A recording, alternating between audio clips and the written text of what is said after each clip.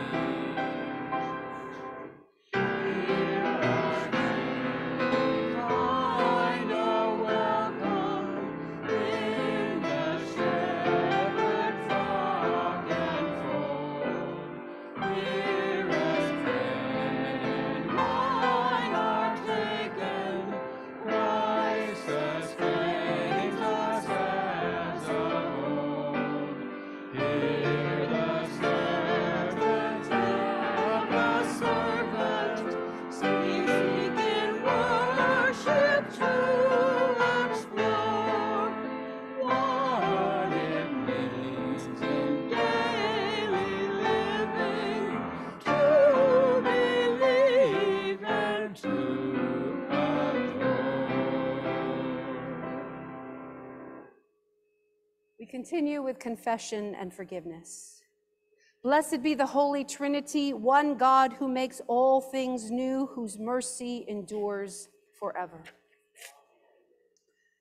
Trusting in God's mercy, let us confess our sin. Holy One, source of our renewal, we confess that we are wrapped up in sin and we cannot free ourselves. We have not practiced your righteousness. Our hearts have turned away from you. For the sake of the world you so love, forgive us, that we may be reconciled to one another for the glory of your holy name. Amen. Thus says our God The former things have come to pass, and new things I now declare. God's mercy makes us new. We are forgiven in the name of Christ, our Savior. Amen. Let us pray together the prayer of the day. O God, the strength of all who hope in you, because we are weak mortals, we accomplish nothing good without you.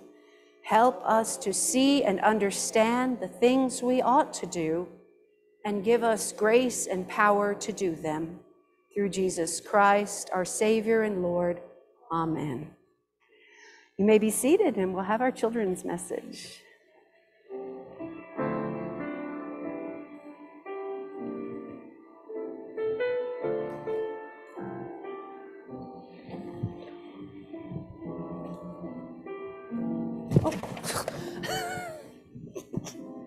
Morning, everyone.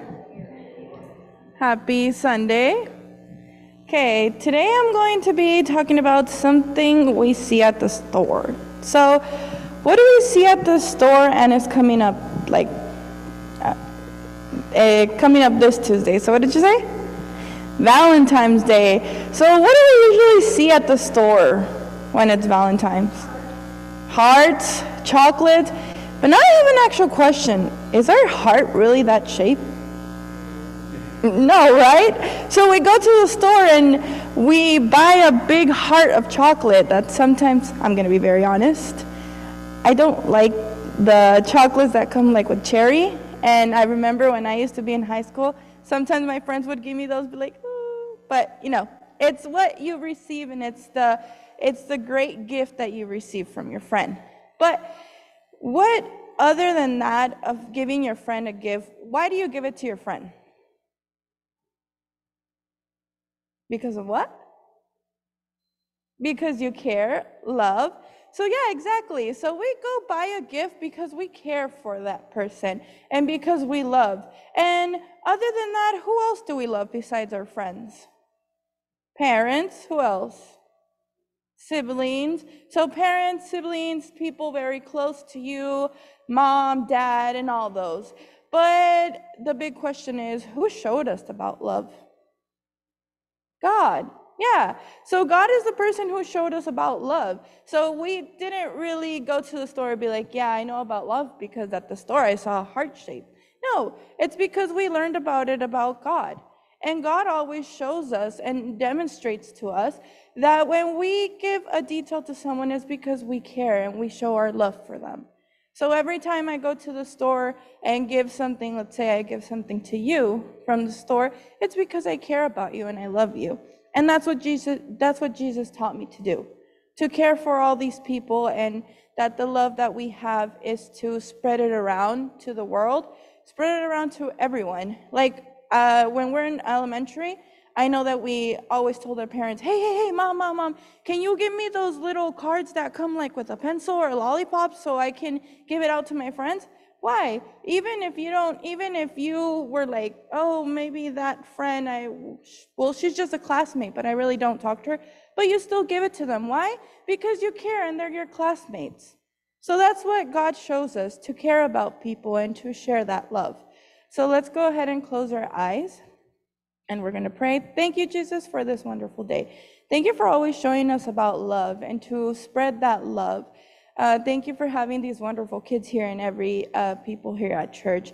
I really appreciate everyone here and all the people. Take care of those who are sick and who are at the hospital in the name of Jesus. Amen. Uh, before I go real quick, if you brought a friend or if you brought someone, remember to tell me today because I'll be giving out the gifts.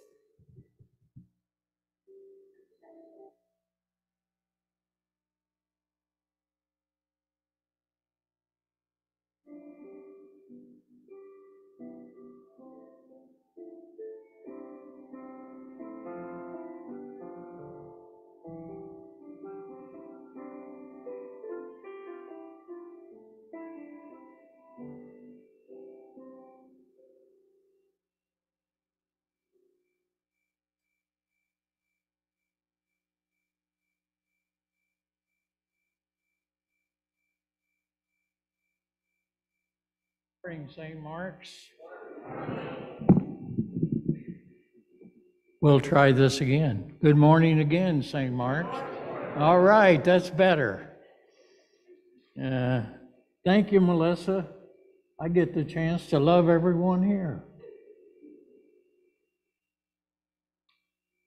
The reading this morning, the responsive reading is from Psalms chapter 1, thir- 119. My eyes aren't working too- good. Happy are they whose way is blameless, who follow the teachings of the Lord.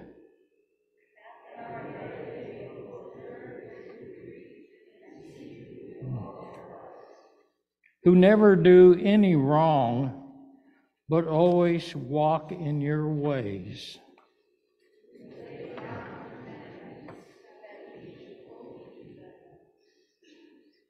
Oh, that my ways were made so direct, that I might keep your statutes.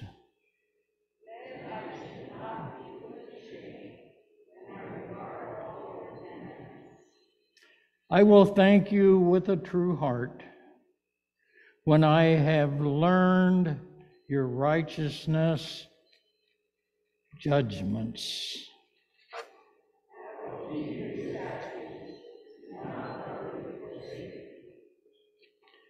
Please stand for the gospel.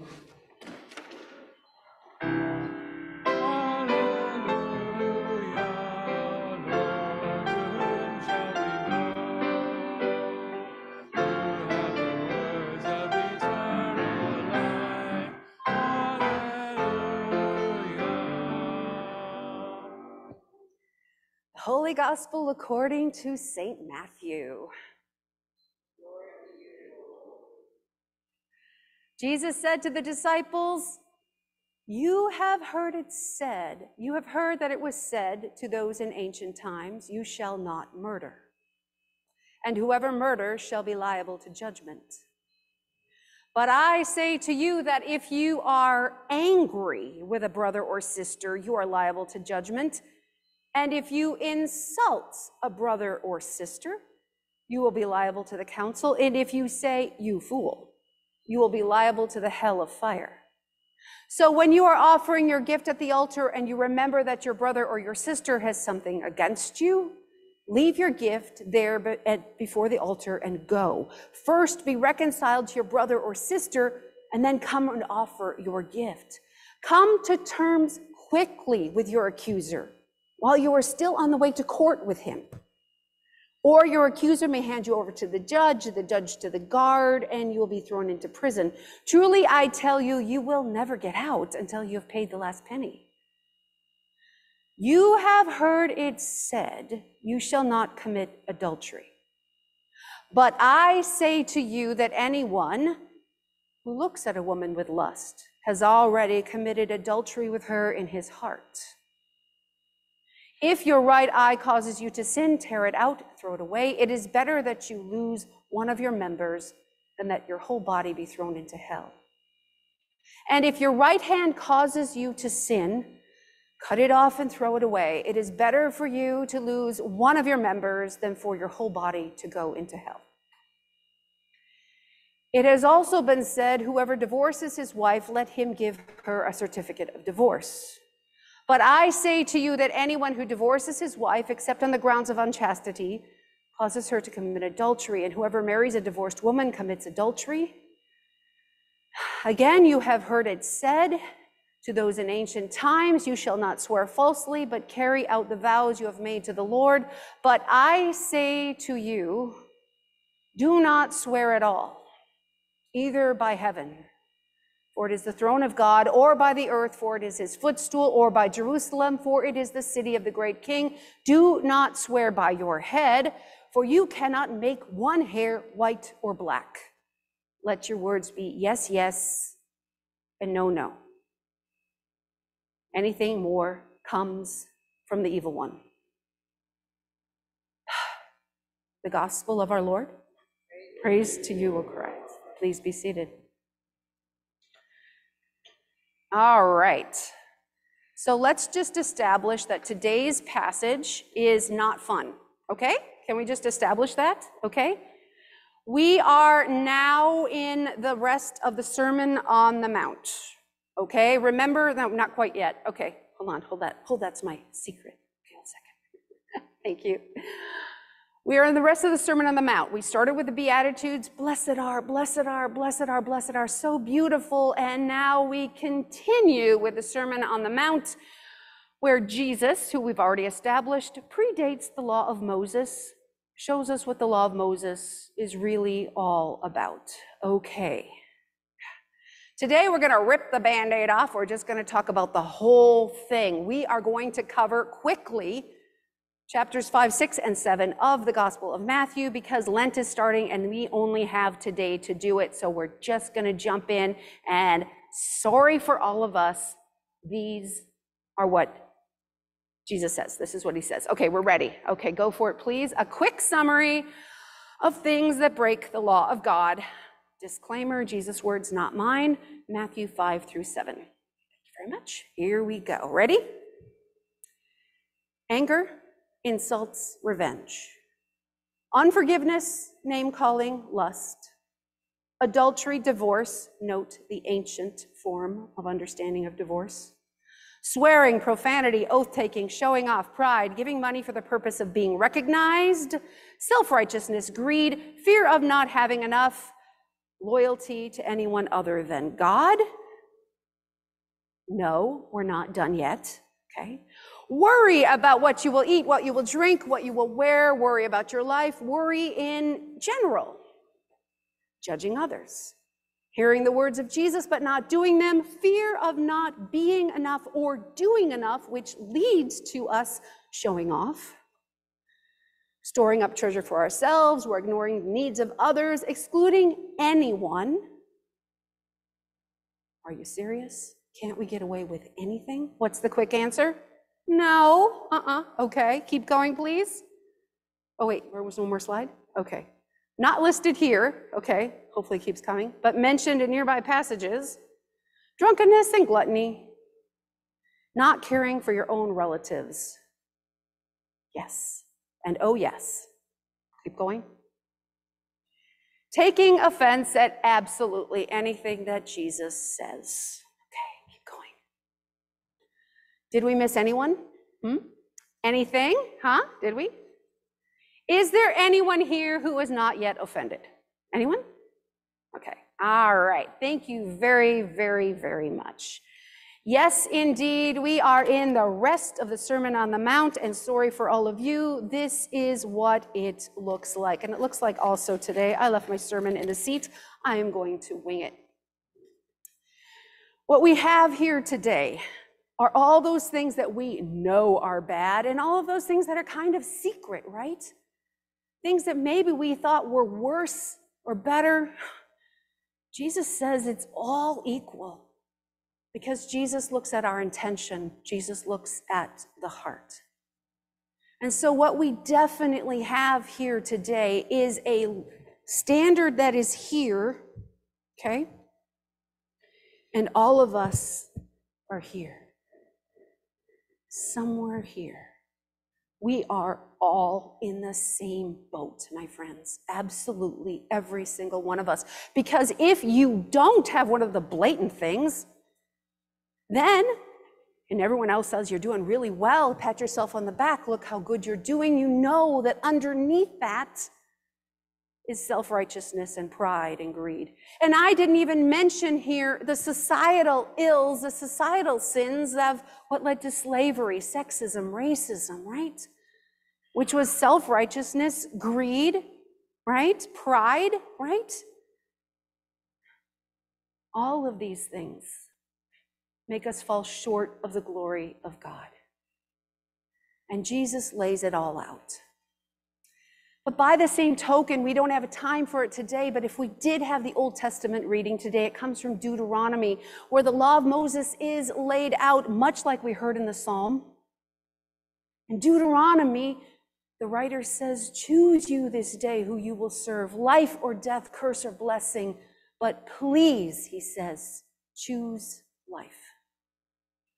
The law is here to show us how we are supposed to live, how society is supposed to go. Because the truth of the matter is, everything listed there hurts either you, yourself, me, myself, hurts my relationship with other people, hurts society, and hurts my relationship with God.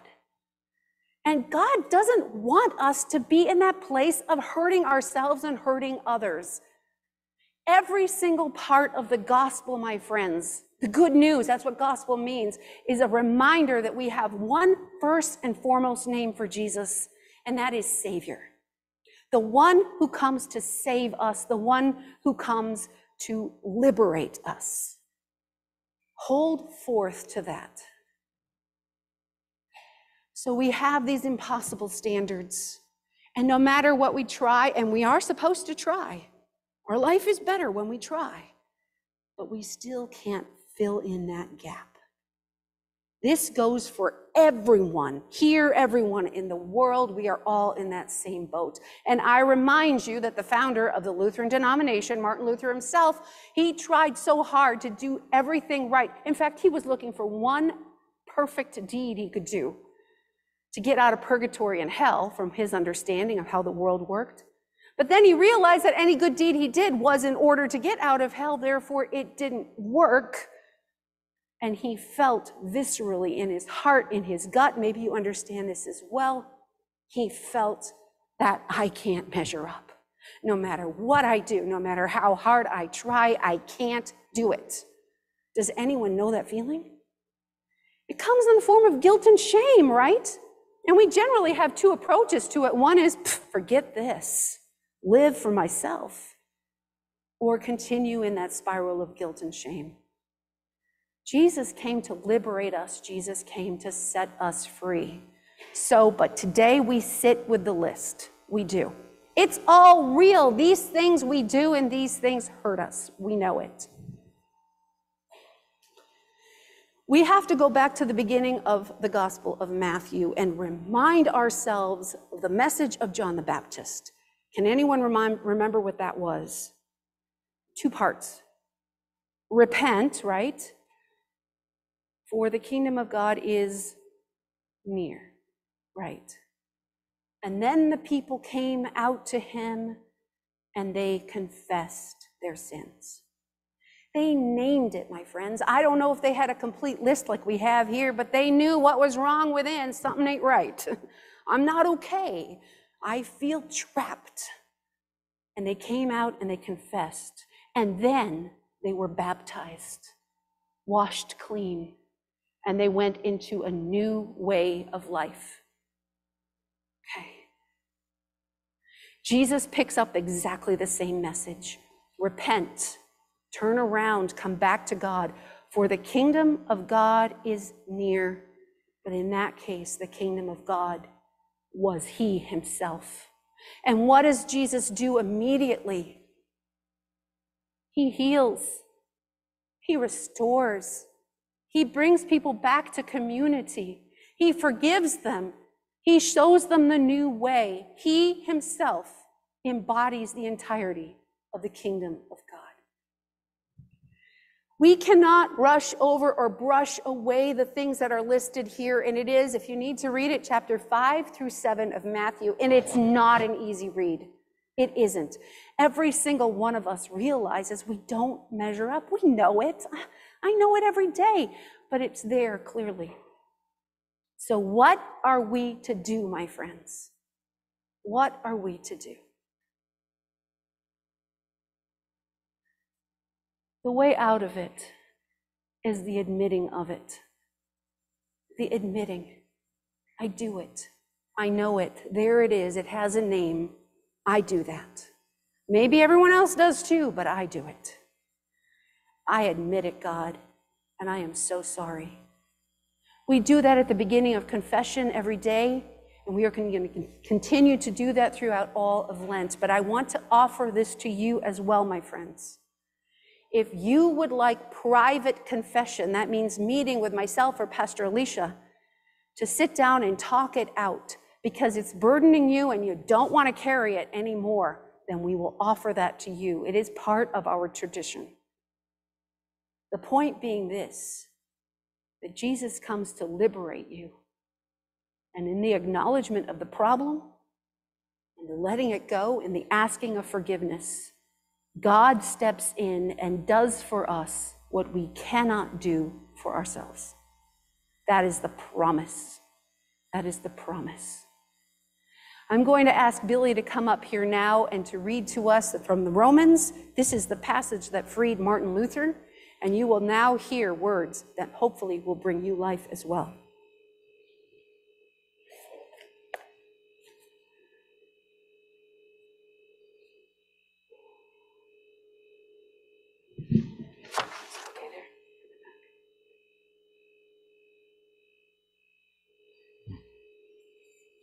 The reading is from the third chapter of Romans. What then? Are we any better off? Not at all. For we have already charged that all, both Jews and Greeks, are under the power of sin. As it is written, there is no one, no one who is righteous, not even one.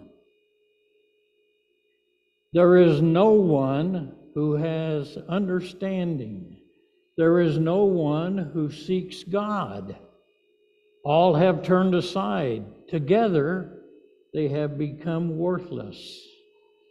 There is no one who shows kindness. There is not even one. Their throats are open graves. They use their tongues to deceive. The vermin of vipers is under their lips. Their mouths are full of cursing and bitterness. Their feet are swift to shed blood. Ruin and mercy or misery are in their paths, and the way of peace they have not known. There is no fear of God before their eyes.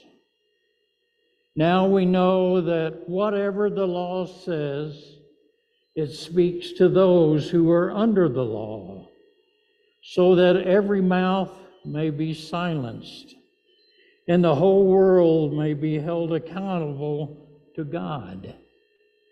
For no human being will be justified in his sight by deeds prescribed by the law, for through the law comes the knowledge of sin. But now, apart from the law, the righteousness of God has been disclosed and is attested by the law and the prophets the righteousness of God through faith in Jesus Christ for all who believe. For there is no distinction. Since all have sinned and fall short of the glory of God, they are now justified by His grace as a gift through the redemption that is in Christ Jesus. Here ends the reading.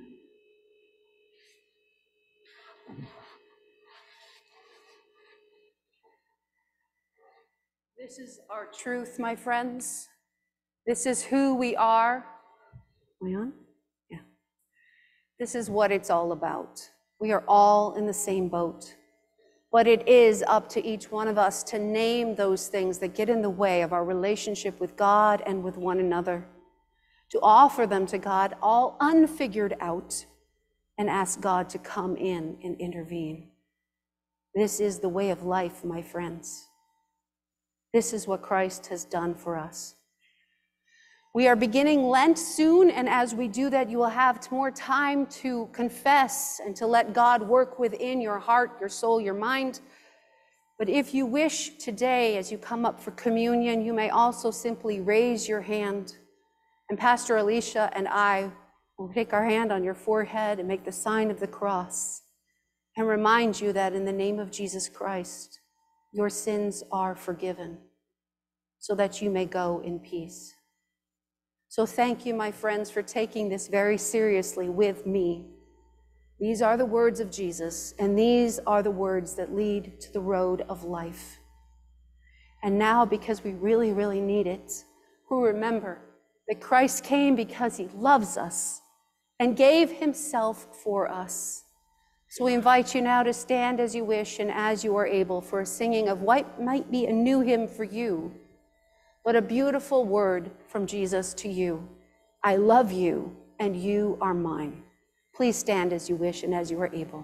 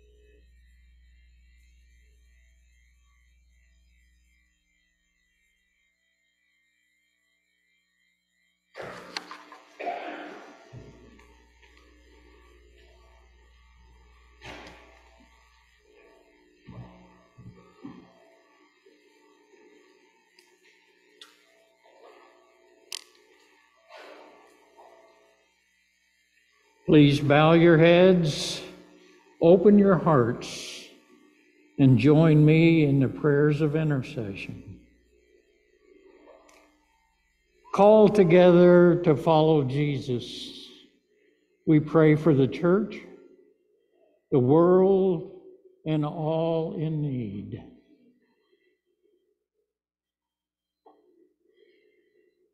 Inspire your church that it may be a sign of life throughout the world. For the exploration of faith with children and new believers to missionaries and bishops. Shape lives of faithfulness so that all find abundant life in your ways. Merciful God, give growth where there seems to be no hope for life. In nations and regions where reconciliation seems impossible, empower peacemakers with your spirit. Where death holds sway through violence, disease, and hunger, equip relief workers to bring hope. We pray for a hedge of protection around our police and fire departments and all they serve. May they work and serve according to your will. Merciful God. Nurture all in need. We pray especially for the recipients of our prayer quilts, for Lorraine, for Kathy, Danielle, Terry, Dee, Andre, for Veronica, Linda, Charlie, Susan, and Phil. We offer continued prayers for Iris Nelson and her family, for Frank, Helga, Phyllis, Mick, Chris, Chris, Ruby, Manuel, and for all the families of St. Mark's. Bring healing to all who experience trauma caused by systems of injustice and destructive relationships. Give courage to those struggling to repent and those seeking reconciliation. Sustain all who work for restoration. Merciful God. Encourage this congregation. Call us to a common purpose and keep us from quarreling. Turn our hearts towards you and guide our leaders so that our choices may be life giving for all. We pray your blessing on all of our children and youth ministries and for Lutheran social services and Project Hand, that they continue to help many and that those they reach may be blessed. Merciful God. Other intercessions may be held at this time, either out loud or silently in your heart, but I have a special one. May God love and comfort and surround those who have lost loved ones and homes in Turkey and Syria and give strength, hope, and equipment to rescue workers and souls who are waiting to be rescued after the devastating earthquake this week. Merciful God. We bring to you our needs and hopes, O God, trusting your wisdom and power revealed in Christ crucified. Amen.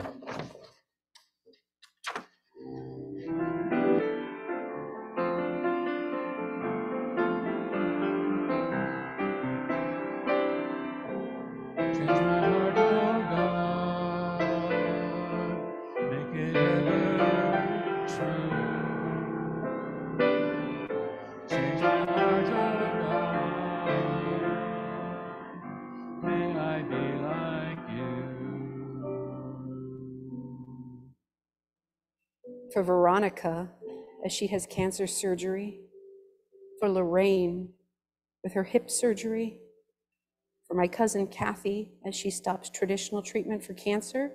May God guide and protect her with this new approach. We pray for Linda. She cares for her husband, for Charlie, who's diagnosed with cancer, for Danielle, five-year-old, who has a near-death experience and is now learning to walk and talk. Andrew, um, who has cancer. We pray for Dee, who um, had an emergency surgery, emergency surgery because of cancer also. And we pray for Terry, who had um, hernia surgery. May God be with them and help him um, and guide the doctors with their treatments.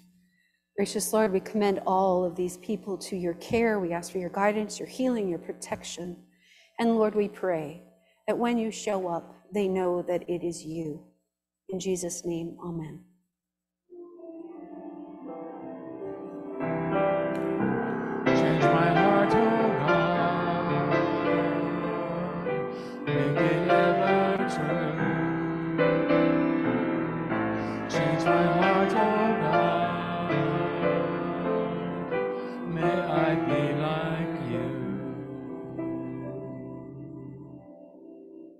The peace of Christ be with you always. Let us share the peace with each other as safely as possible.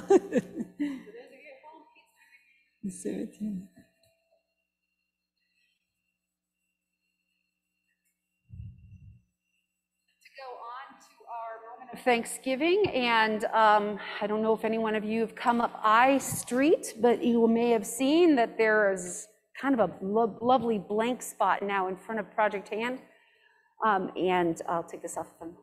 Um, We uh, finished weeding Kyra style, that area, and it is getting ready for some citrus plants, which will greatly beautify that area. So we're looking forward to finishing I Street eventually. As we all know, it's a lot of work, but a lot of good time together. We invite you to come. The next event will be on March 11th, not the 4th. The 4th is Amy Bentz's funeral, but the 11th, and uh, continue to beautify that area. So all who come up to Project Hand will have a beautiful welcome, as well as anyone who sees that part of our property will see all the care that we're giving to this gift God has given us, the property of St. Mark's Lutheran Church. So thank you so much for that. Okay. And we welcome you now to continue to support St. Mark's through your offering, your tithes, and your offering. And we thank you for all that you do to keep the ministry here alive and to, to um, partner with Jesus Christ right here and right now.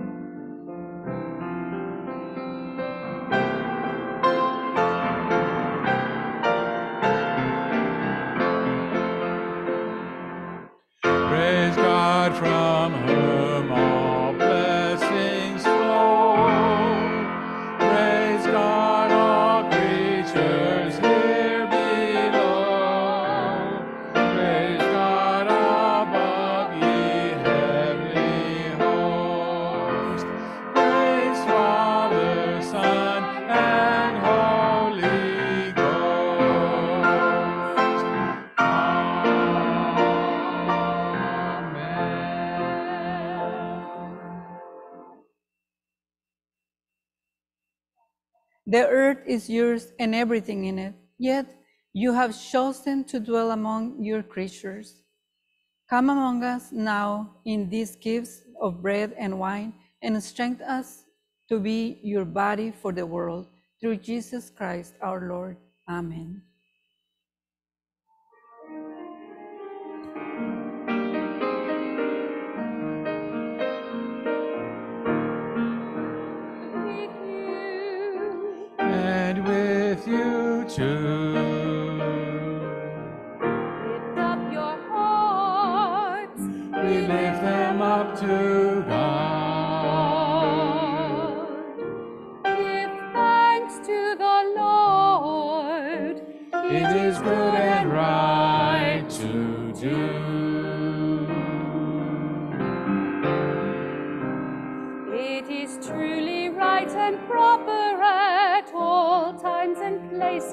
That we give our thanks to you, Lord.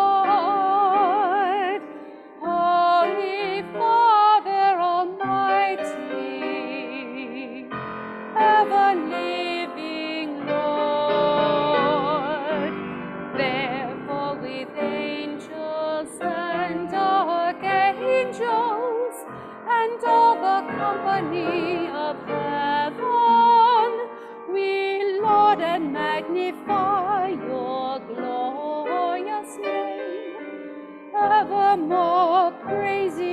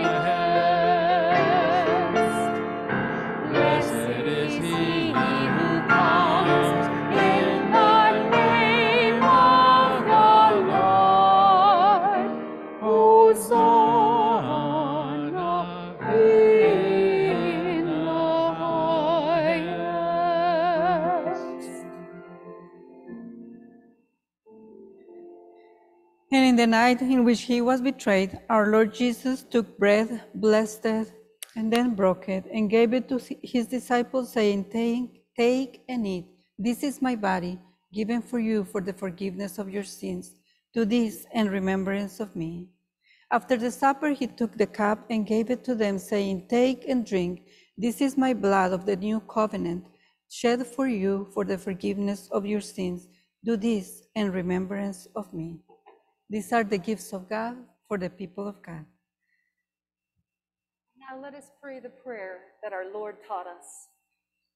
Our Father in heaven, hallowed be your name. Your kingdom come. Come, your will be done on earth as in heaven. Give us today our daily bread. Forgive us our sins as we forgive those who sin against us. Save us from the time of trial and deliver us from evil. For the kingdom, the power, and the glory are yours, now and forever. Amen. You may be seated as our communion assistants come forward. All are welcome. We have open communion, and there is grape juice and gluten-free as needed.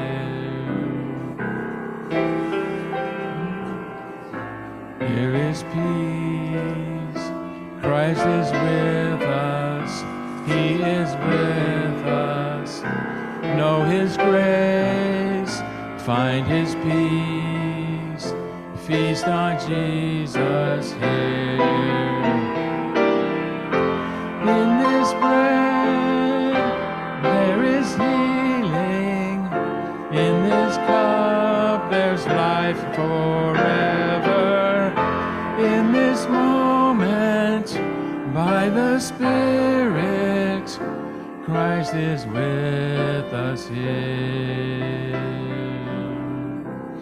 Here we are, joined in one. Christ is with us, He is with us. We'll proclaim till He comes. Jesus crucified. In this bread there is healing, in this cup there's life forever. In this moment, by the Spirit, Christ is with us here.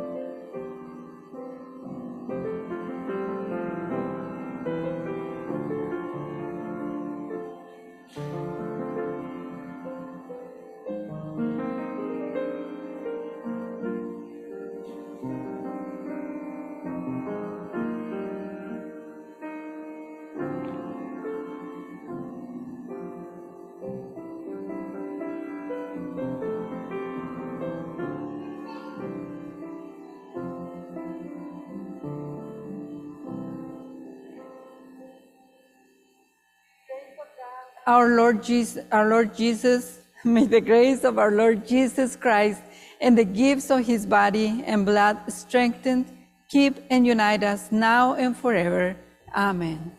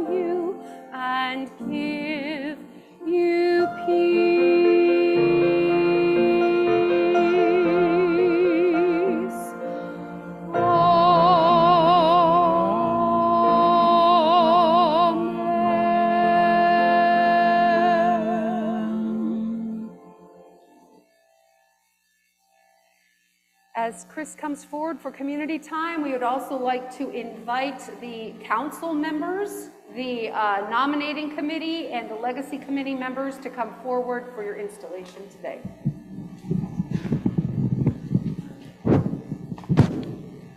Good morning, everybody. That even woke me up. Just a couple of announcements. Uh, First of all, I'd just like to recognize the fact that I was able, I was blessed to have a little time this week to go over on Friday and help with uh, Project Hand and their food distribution. It was an amazing, amazing event. Um, We handed out food for approximately 350 families uh, which equated to roughly around 15 to 1,600 people. And we did that in the period of about an hour and a half to two hours. It was an amazing event, and if any of you ever have time on a second Friday of the month, please come out and join us. It's uh, really a heartwarming experience. The first announcement is the Valentine's Day potluck we're having uh, Tuesday, and it'll be at 12:30 here in Jacobson Hall. And if you have any questions or anything, please call Dorothy Geyer, and her hotline number is right in the bulletin. And then uh, next Sunday, on the Feb- on February 19th, we're going to have a regular worship service, but in between the services, we're going to have a Christian Education Hour. We'll have the City of Chula Vista Senior Services, Aaron Reeds, join us to share senior resources. And then one little change on the schedule, and that is our Ash Wednesday uh, worship service will be held at uh, noon on Wednesday instead of 5:30. Thank you.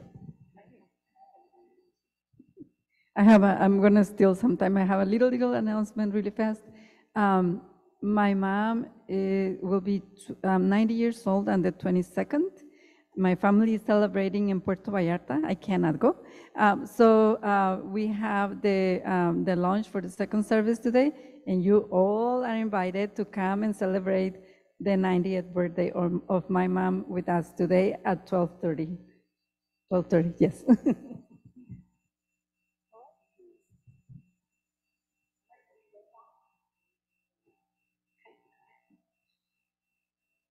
Dear Christian friends, baptized into the priesthood of Christ, we all are called to offer ourselves to the Lord of the to the Lord of the church to the Lord of the church in thanksgiving for what he has done and continues to do for us. It is our privilege to recognize and support those who are engaged in the work of this congregation, especially those in the ministry of congregational council. Legacy and nominating. Mm-hmm. The following persons have, having been elected by the congregation to the positions of leadership are asked to come forward. In holy baptism, our Lord Jesus Christ liberates you from sin and death and made you members of his church. Through word and sacrament, you have been nurtured in the faith. St. Paul's writes, There are different kinds of spiritual gifts, but the same Spirit gives them. There are different ways of serving, but the same Lord is served. There are different abilities to per- perform service, but the same God gives to everyone ability for particular service. The Spirit's presence is shown in some way in each person for the God for the for the good of all. You have been elected to positions of leadership and trust in this congregation. You are to see that the words and deeds of this household of faith reflect Him in whose name we gather. You are to work together with other members to see the- that the worship and the work of Christ are done in this congregation and that God's will is done in this community and the whole world. You are to be diligent in your specific area of serving, that the one Lord who empowers you is glorified. You are to be examples of faith active in love to help maintain the life and harmony of this congregation. Are you ready to accept and faithfully execute the duties of this office to which you have been elected? If so, answer please yes by the help of God. People of God, I ask you, will you support these, your elected leaders? And will you share in the mutual ministry that Christ has given to all who are baptized? If so, please answer yes by the help of God. Yes, by the help of God.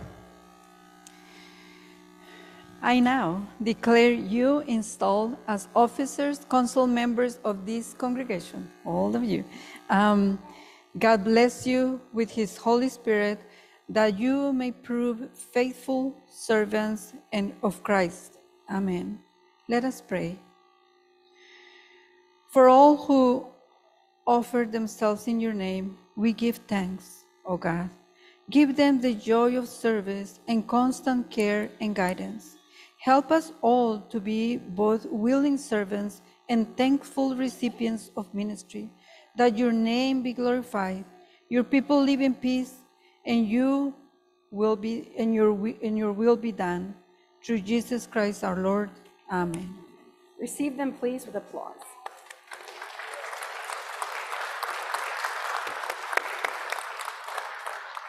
And if you would just please all turn around, we'll quickly introduce you. Um, So we have Gerd Pfeiffer, he's new on the council.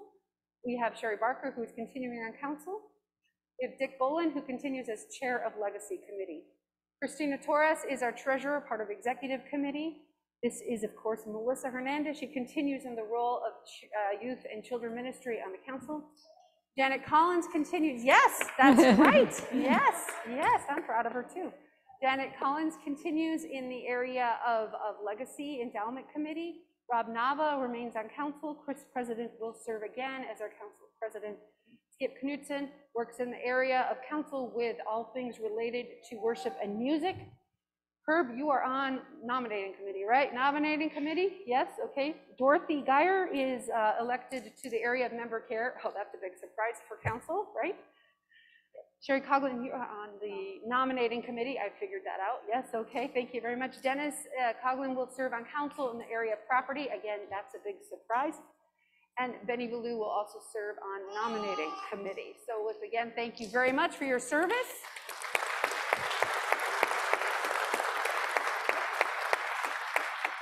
One quick little note, please, you may receive, return to your seats, and they will all give you lots of praise and lots of questions as you continue on your way, yes.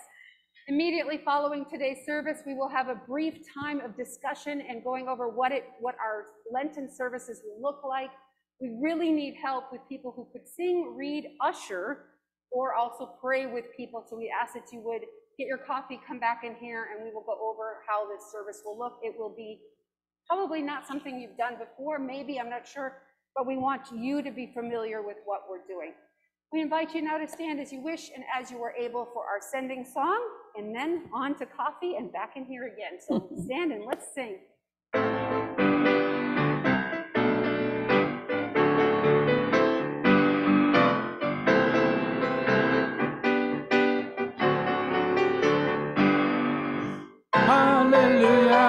Sing your praises. All our hearts are filled with gladness. Hallelujah, we sing your praises. All our hearts are filled with gladness. Now he sends us all out strong in faith, free of doubt, strong in faith, free of doubt. Tell to all the joyful gospel. Hallelujah, we sing your praises. All our hearts are filled with gladness. Hallelujah, we sing your praises. All our hearts are filled with gladness. Go in peace. Jesus meets you on the way. Thanks be to God.